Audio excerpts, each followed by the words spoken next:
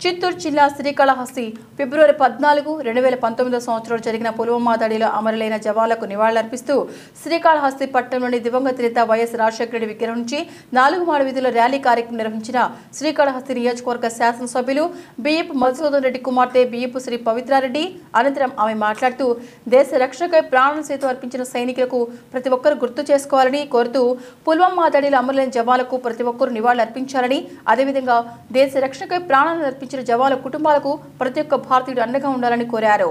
ఇప్పుడు మనకి ఏదైనా జరిగిందంటే పరిగించేది వాళ్ళే. ఒక ఎర్త్ క్వేక్ వచ్చినా సునామీ వచ్చినా ఫ్లడ్ వచ్చినా ఏ రిలేషన్ లేకపోయినా వాళ్ళు చాదుకునే వాళ్ళు వాళ్ళే మాకు.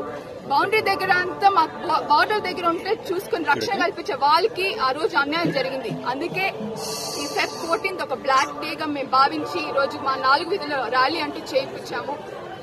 ఒక రెస్పాన్సిబిలిటీ యూత్ అందరూ మా కోసం వచ్చారు. వ్యాలంటైన్స్ డే కాదు ఈరోజు మేము చేయాల్సుకుంది బ్లాక్ డే ఒక ఆర్మీ వాళ్ళకి మేము సపోర్ట్గా ఉండాలంటూ ఈరోజు మేమంతా కలిసి చేసినాము. చాలా ప్రౌడ్గా ఉంది. మేమంతా ఆర్మీకి ఎప్పుడు వాళ్ళ ఫ్యామిలీస్కి అయితేనేమి ఆర్మీ వాళ్ళకి అయితే ఎప్పుడు మేము సపోర్ట్గా ఉంటామని ఈ- మీ మీడియా ద్వారా మేము తెలుపుతున్నాము.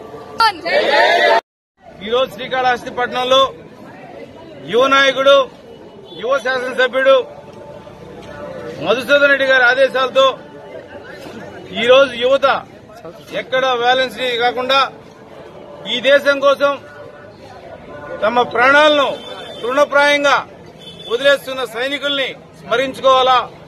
సైనికులు మనకు చేస్తున్న సేవ ఈ మధ్యనే సరైన సినిమాలో చూశాం.